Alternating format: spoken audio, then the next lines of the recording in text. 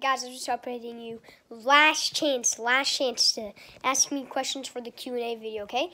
Last chance, you have one hour. And yeah, it's going to be uploaded sometime this week, okay?